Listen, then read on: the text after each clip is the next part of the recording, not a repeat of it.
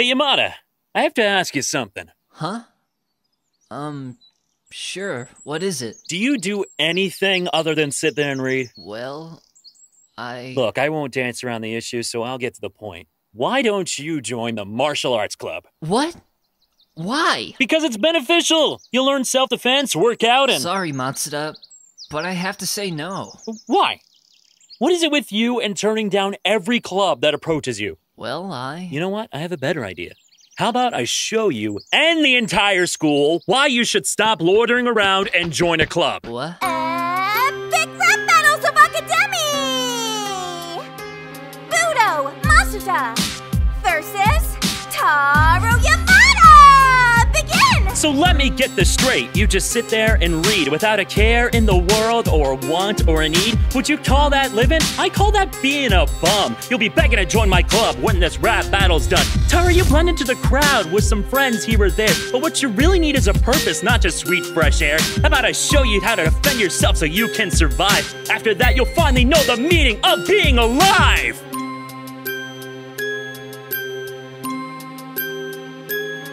You got nothing to say? Come on, show me what you can do. I know a million ways to fight you and a hundred ways to block you. Taro, say something. You really have nothing to say? If you don't, then why the heck won't you see things my way?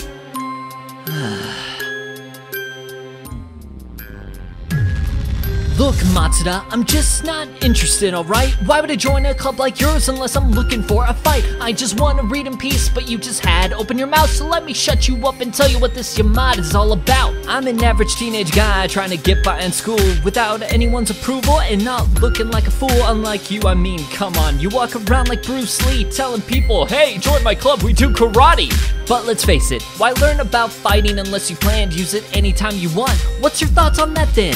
If you can't defend that, then you've already lost. Now, pardon my English, but can you kindly fuck off? There's no need to get hostile, buddy. I just wanted to convince you that there's more to life than reading what fictional characters will do. You can laugh all you want, but you might not regret joining me.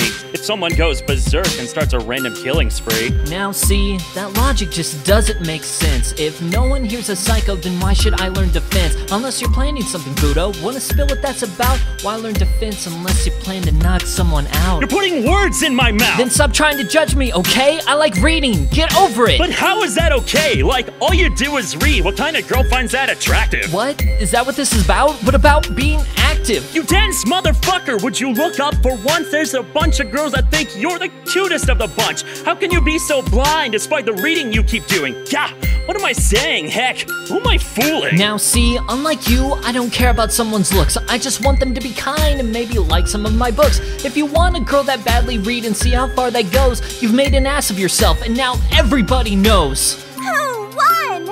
Um, I'm not sure. Someone tell me this is too tough. Just who won? Midori! Sorry, sorry.